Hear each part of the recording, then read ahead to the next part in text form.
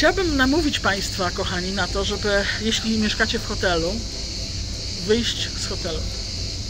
Już za rogiem, już w lewo i w prawo macie Państwo fascynujące rzeczy.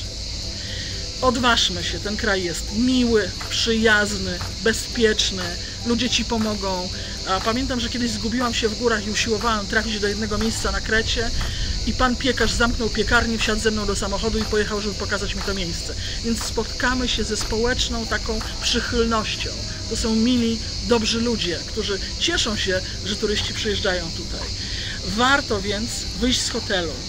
Po co? Po to, żeby samemu zwiedzić. Po to, żeby posiedzieć nad morzem. Stolik, obrus w kratę, dwa kieliszki wina i tylko wy. Idźmy do tawerny, do tawerny prawdziwej. Jak rozpoznać prawdziwą tawernę? Po pierwsze, tam jedzą tylko Grecy i najlepiej tam od razu iść bez zastanowienia. Po drugie, rezydenci powiedzą Państwu, gdzie są wyjątkowe miejsca z wyjątkową kuchnią. Spróbujcie smaków Grecji. Od czego zaczynacie? No, no oczywiście woda, Nero Megalo Paracalo, dużą butelkę wody poproszę na dzień dobry, bo to jest potrzebne. Często dostają Państwo taką wodę w prezencie na początku posiłku, a potem zaczynamy od takiego działu w menu, które nazywa się meze, czyli przekąski. I to jest poezja dla każdego. Poezja dla tego, kto je mięso, poezja dla tego, kto mięsa nie je. Tam mamy cudowne, drobne danka, które oddają całą Grecję w smakach, smaków pomidorów ze słońca, wielkiej fasoli, cudownych chrupiących ogórków, papryki nadziewanej.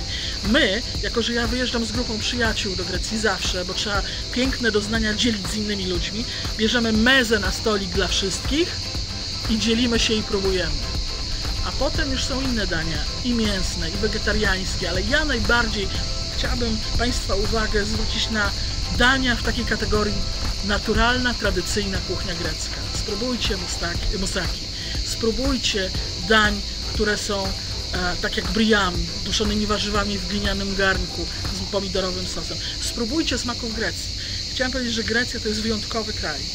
Nie wiem, co ten Pan Bóg miał i nie wiem, jak on wyglądał. Czy był antyczny, czy był nasz, czy był zupełnie inny.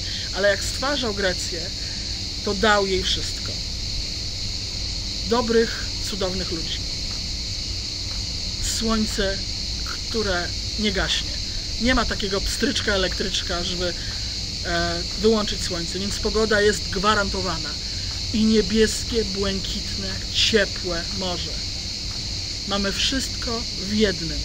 W jednej tabletce w Grecji Bóg dał wszystko, co mógł dać. Ja się przyznaję bez bicia, ja Grecję kocham. I wrócę tu i za rok, i za dwa lata, jeśli mi tylko sytuacja moja pozwoli, i za trzy, i tak do końca świata jeszcze jedzie jeden dzień.